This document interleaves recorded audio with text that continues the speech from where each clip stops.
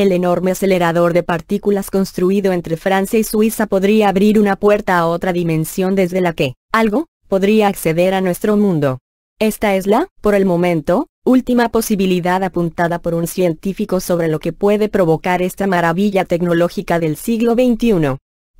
Sergio Bertolucci, director de investigación e informática científica del CERN, organismo que ha construido el gran acelerador de hadrones, cree que este ingenio podría abrir, aunque fuese durante unos instantes, una puerta a otra dimensión, a otro universo, y que algo podría pasar a través de ella hasta nuestro mundo. Desde esa puerta podría llegarnos algo, o nosotros podríamos enviarlo, dijo el científico, un reconocido físico teórico. Estas palabras son lo suficientemente ambiguas como para que se haya generado una polémica a propósito de sus diferentes interpretaciones. Se podría hablar de un contacto con otra dimensión, de un universo paralelo tal vez, el Gran Acelerador de Hadrones es una enorme y compleja instalación construida bajo tierra entre las fronteras de Francia y Suiza destinada a reproducir en la Tierra enormes descargas de energía parecidas a las que se produjeron en los orígenes del universo, para conocer mejor de qué está hecha la materia. Una máquina que está siendo motivo de curiosas hipótesis desde que se planteó su funcionamiento, desde pensar que podría provocar la aparición de un agujero negro que engulliría la Tierra a deducir que su entrada en funcionamiento estaba siendo saboteada desde el futuro.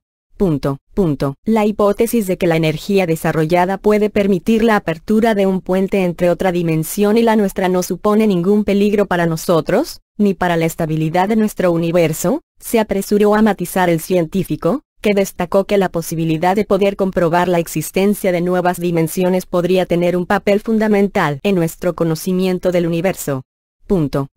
Fenómenos inexplicables Lo que los científicos creen que podría pasar es que se apreciarán fenómenos inexplicables según nuestra forma de entender el universo, de forma similar a lo que ocurriría en un universo de dos dimensiones, como un plano, si irrumpiera en el algo de tres dimensiones, como un cubo. La posible apertura de esta puerta entre dimensiones sería muy breve, y se cerraría de forma espontánea después, asegura el investigador, que no cree que por el momento ese descubrimiento tenga una utilidad práctica. Esta polémica ha coincidido con la entrada en funcionamiento, aunque con pruebas de reducida energía, del gran acelerador de hadrones, un suceso que ya ha sido visto por algunos como la causa que se encuentra detrás de una serie de extraños fenómenos que han tenido lugar en el otro lado del planeta, en Sudamérica, como una serie de apagones masivos en Brasil, el 10 de noviembre, o unos terremotos en Chile y Bolivia, solo tres días después de que parasen las primeras pruebas con este acelerador de partículas.